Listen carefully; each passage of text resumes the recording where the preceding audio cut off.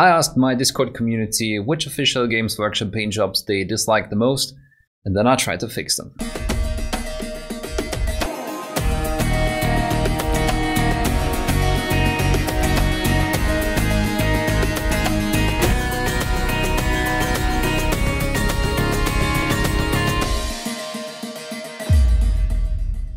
What's up fellow pigment pushers? Official paint jobs and box arts are an important thing in miniature painting. They're supposed to show the miniature off in a favorable light, but, and this is especially true for Games Workshop and other miniature companies that have a game attached to them. Meow, meow. Okay. The paint job has to be balanced around uh, looking incredibly awesome, but also looking achievable. And the heavy metal style has become the epitome of this balancing act. Now, don't get me wrong, there is some great painters working at Games Workshop and I have seen firsthand during my trip to Nottingham for the Everchosen finals in 2019. And a lot of the Warcry and Warhammer Underworlds boxes and warbands have really inspiring paint jobs. But all these painters work in a team and that team has to produce a coherent style with certain rules and restrictions. I think it's interesting that there is this tension between two extremes and that companies have to consider both of these aspects.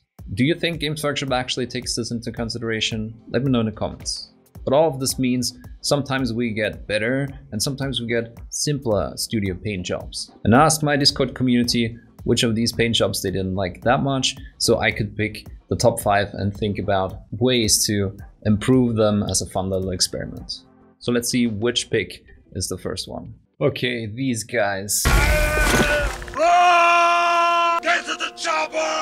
So they are so muscular, they have extra muscles on every part of their body. Also, we have to admit that this is a pretty old paint job. They're probably 20 years old, so this is kind of unfair. But uh, there's a lot to learn here, so let's do it. So one thing I already mentioned a couple of times is that you don't necessarily shade every recess and you don't necessarily just highlight every edge. It's been a thing that Games Workshop did for a long, long time. And only lately they made a bit of a move towards not doing that every time. So if we look at a couple of other paint jobs that came later, they made an effort to not just do that. So with this one, we still have a lot of the deep recesses, but not everything is as deep everywhere on the body. So they went a bit less deep up here. They still try to frame all the muscles nicely with this um, edge highlight. So readability is a thing here. However, we see that uh, there is some, some weird edge highlights, but we'll get to this later. And then with the Untamed Beasts, I feel like uh, they have it dialed in even better. Over here, they still have the same definition with the really dark dividing lines in between. I guess on the brighter skin, it's a little bit better, so just very dark in the inside of the elbow, and then as it goes up, it fades a bit out. Down here, it's even less, so we don't have these dark lines. So there's definitely progress. We look at this arm, for example. Like we said, everything is defined in the same way. So what we want to do is to be a bit sensitive about uh, how dark the shadows have to be. So for example, all of this area should probably be not as dark as it is because the shape of the lower arm um, yeah just integrates with the biceps on the here and it forms a bit of a straight edge. And the actual shadow is only cast by the form of the biceps. But there should not be a super visible shadow down here. So we could go back to this color and define this a bit more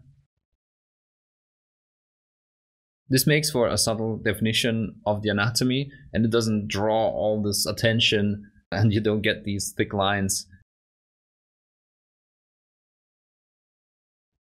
And then of course we need to tone down all of this and just work on the volumetric highlighting. We need to bring all of the skin color up a few steps and tone down the shaded areas because these harsh shadows look super unnatural and then we build up more contrast again by adding additional highlights. You need any reference, just look up how light interacts with the different shapes, with cylinders and um, with uh, spherical objects. Okay, with the last highlight, we need to be a bit more careful So you can use a tiny bit of, of white in, in these parts, um, but I recommend just putting very, very confined last highlights to uh, bring out the contrast even a bit more. For the t-shirt, I'm just uh, picking out the base color and I'm mixing a brighter highlight and apply more of a zenithal light, covering his shoulders and the belly part that's facing up. So this is a clear example that it's not always good to shade any recess, which a wash will always do. If you apply a wash, it always creeps into the recesses, regardless of whether it makes sense to shade it or not. You want to control where the paint goes, and the first step here is to clean up a lot of the mess. Usually this step alone makes any part of the miniature look better, as you can see, simply because you take away these huge unnatural shadows. We can keep a bit of that shadow in the wrinkles next to the nose. And once the base color is established neatly again, we can start to mix brighter highlights and I'm defining the cheekbones, back of the nose and, and upper lip area and so on. When this is done, we can give the face more character and credibility by adding shades and a bit of red color to the cheeks. Something interesting is that depending on how white we paint the brighter highlights, we can make a face or feature appear wider or smaller. So just to compare this, I'm going to get rid of it again. Now the face looks a lot wider and here it looks a bit slimmer again. Using a mix of uh, skin color and, and the black, we can mix a gray that will look like the shadow of a beard. And using an off-white to paint these last highlights on all of the areas, we can draw everything together again.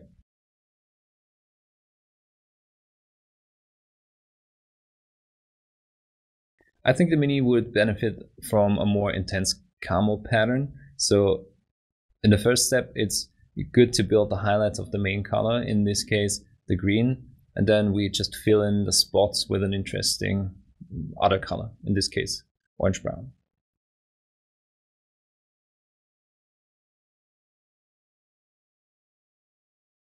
Okay, with this one, I don't think I would change a lot.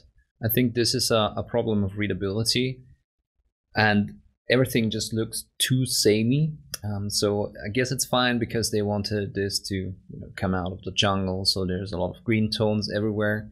But everything just melts together and it's a visual mess because the model is already really busy. And if you make all the details too samey, then that's just adding to the confusion. and then play around with colors a bit. So I'm going to add a lot more red, a bit of magenta maybe. Um, oh yeah, so I'm after a bit of an orange. I think this is fine. Let's see how that looks. I think that already looks so much better because you can clearly see that there's something sitting there, um, living being sitting there that contrasts against um, the rest of the green and going for a red even is a complementary contrast. So it makes everything stand out. And I think it's in line with the red feathers. So the feathers are at least on the outlines, tiny bit of red. And I think the, the red skin tone fits perfectly. I like this better, I think, than just the grass green that we had before. This is a bit more vibrant. Let's just experiment with also doing the limbs. Yeah, I think that's actually better. So I think that's an easy fix and we already have a tiny bit of that red in there with the gem. So just adding more red uh, doesn't really change anything. There's still a lot of green and turquoise going on. So the general theme stays alive and uh, we have this complementary contrast that actually tells us there's something sitting there that's not the throne. So I like that a lot better. Okay, someone submitted this one again. But I think it's a good example and we can do a lot with this. Just working on the skin tone. I know they wanted to go for something pale, but you can still have something that is not looking alive and not make it just one pale color.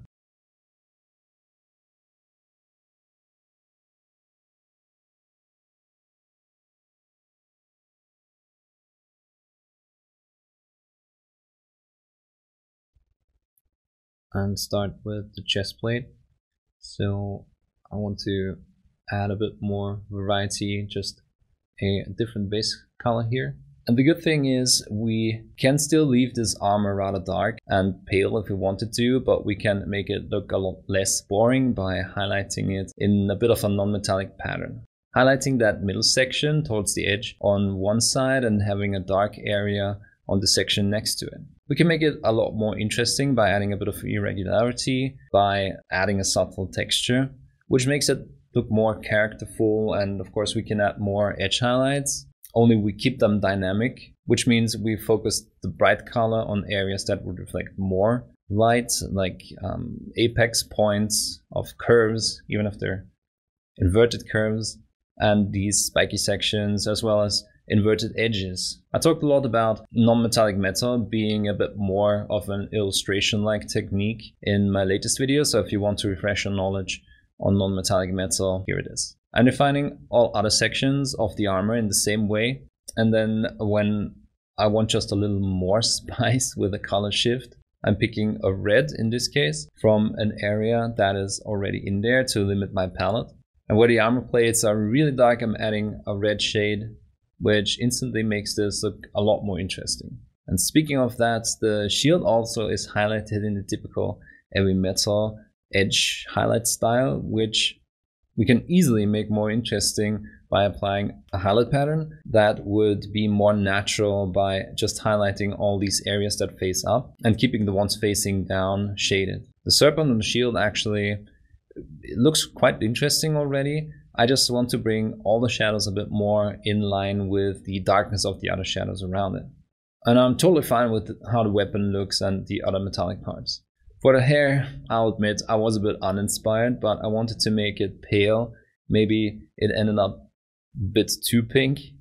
It is what it is, can't always nail everything. I just apply some highlights and shadows and that's gonna be it for this figure. Okay, this one is an interesting choice. On first sight, it doesn't look bad. Things that I really like are the white parts with the, subtle shading and um, the interesting battle damage. It's really nice because it's really thin. It has this dynamic brushstroke. It's not applied everywhere. This wrinkle here, this fold, is uh, highlighted uh, in a more volumetric way. So this, as this bends forward, it, it, gets a highlight, and then as this bends downwards, inwards, it gets a shade. The skin, I think, is a little bit flat, and like I said, it's not really bad. I just think there is room for improvement.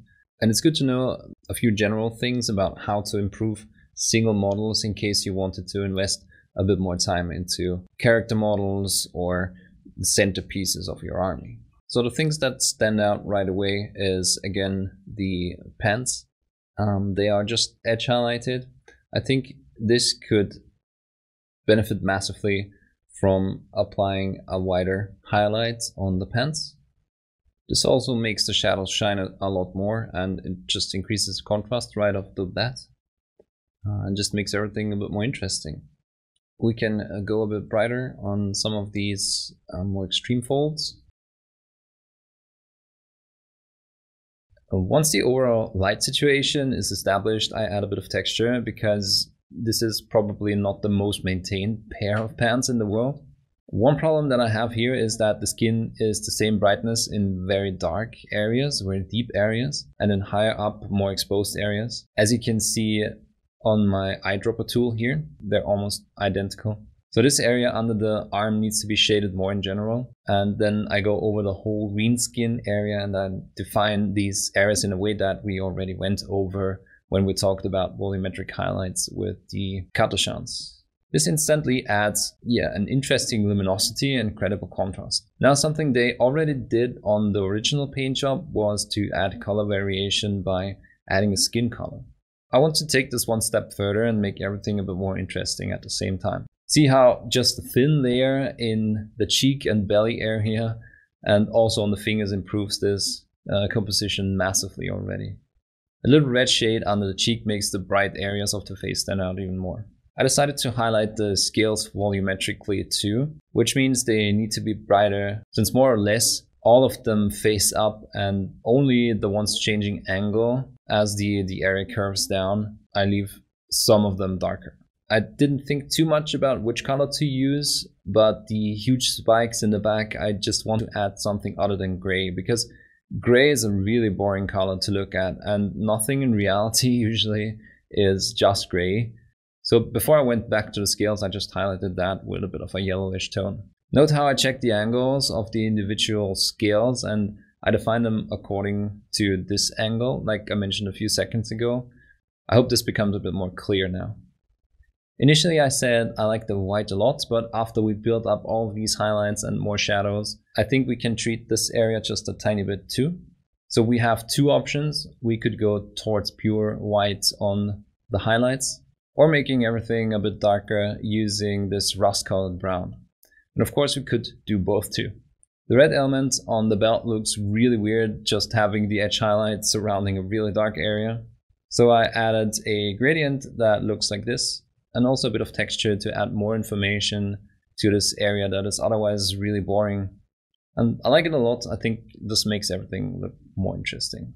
The belts suffer from the same principle of let's just do two edge highlights, with one with a darker color and one with a brighter color, and it looks the same at the top and at the bottom.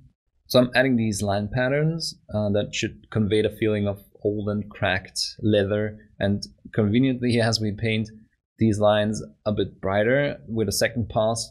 In some areas, we can add additional highlights. I think there's one more trick to make the weapon more interesting. Right now, it's just really dark and undefined. So why not add a bit of a gradient in these metal parts and some shine in the front and then make one of these edges a lot brighter. Next up is Be'lakor, and I know that he's the Dark Master, but did they have to make him so dark that you can't even see his hand against the wing? Minus 10 on the readability. So with the old model, you have the gold breaking up the monotony, which I'm not sure if uh, this does the same thing because it's just grayscale. Everything is gray on this model, and using gray metallics doesn't really help either. You have a clear distinction in the front. So the main body looks different from the wings. It's still not super clear to see what's going on, but it's a lot better. If we pull down the saturation and make it a black and white image, you can see that there's not a lot of contrast anywhere, not really a focal point that the eye is drawn to, and then can start exploring. Could have done this for all that I care and everything else is desaturated. Sword, blues and, and purples are desaturated and also the loincloth. And you can't even make out the base properly and what's going on there. So let's see what we can make better. So if something is too monotonous, we have two options. We can add variety by adding color, and this can be subtle as long as it's not just shades of gray. And we can add contrast within the shapes and on the outline of shapes. Of course, we can also combine the two. And of course, we can also combine the two. For the main body, I wanted a brighter color. Maybe the skin on the chest is a bit softer than the areas on the back. And the upper leg where the spikes are coming out. Jeez. So for the main body, I wanted a brighter color. Maybe the skin on the chest is a bit softer than the areas on the back and the upper leg where the spikes are coming out. I chose a desaturated green to highlight the muscles and I also added a bit of this color to the biceps area and the lower arm where no scales are present. Keeping the limbs dark, which will contrast nicely against this, this brighter chest area. And I just keep mixing a brighter shade of the green and I keep highlighting these muscles in the volumetric style. If you look at a color wheel, then the desaturated purple, uh, which is somewhere over here, is actually a uh, complementary color to green. So using a desaturated green, we are right on track for a nice color harmony. And I even exaggerate some edges here because it's a really large model and in reality it would be like so much bigger than a human being so all of this needs to be really exaggerated. The horns are real dark too and in my opinion they don't stand out enough from the rest of the gray mass. So I increase their brightness overall and I also work out these details a bit more. Again, I want to keep the palette limited. So to shade the face, I'm looking for a color that is already present. Um, so I checked which color the subtle shade up here was and conveniently it was a magenta that I was fine with using. So I painted the shadows under the cheekbones in magenta and I think it works really well.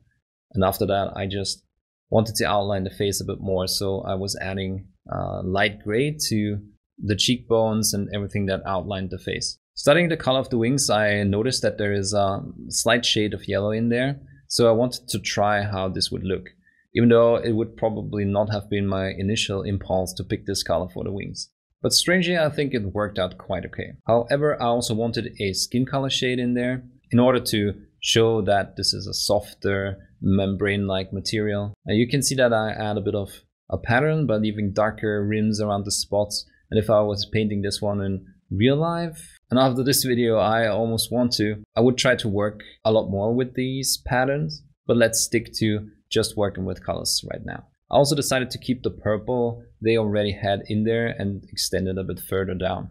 I wasn't 100% convinced, but I left it for now and I decided to do something with the weapon.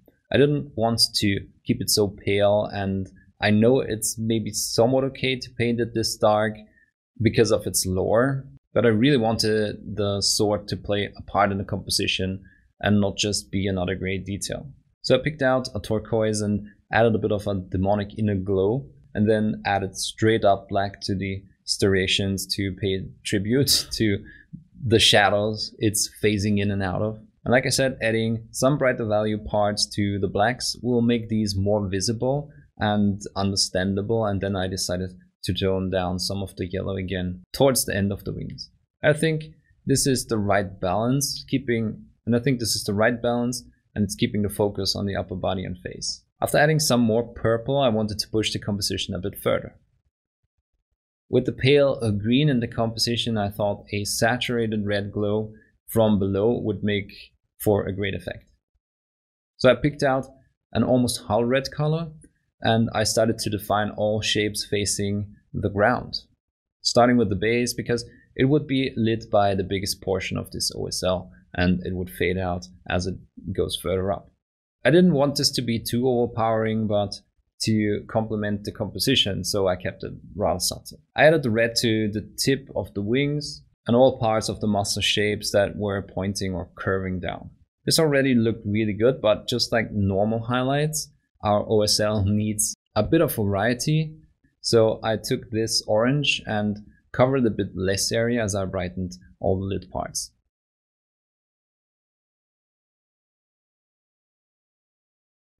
Yeah, so I tried to not I tried to be a bit more subtle, so not to overwhelm everything. But I think especially this interaction here with the green looks super nice.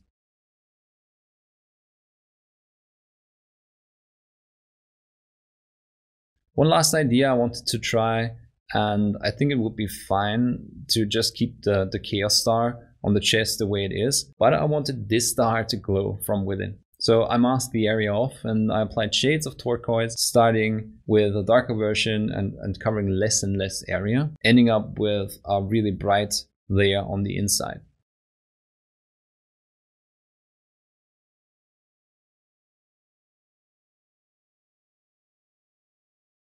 I rounded everything out with a bit of halo and then I called them done. Like I said, I really want to paint Be'lakor now.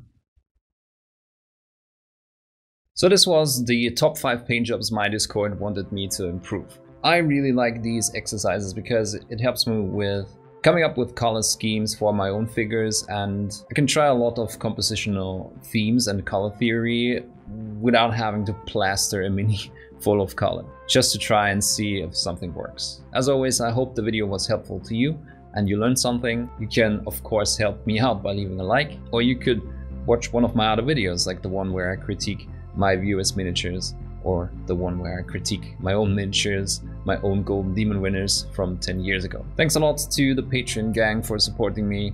You guys are the reason this channel exists. I can stress that enough. If you want to support me but don't like Patreon, you can always support me through the affiliate links that I put in the description of each video, and you can give me a bit of revenue while buying the things you will need for your hobby anyway. Thanks for watching, keep pushing that pigment, and don't be afraid it's only paint. No wait, it was Photoshop this time, but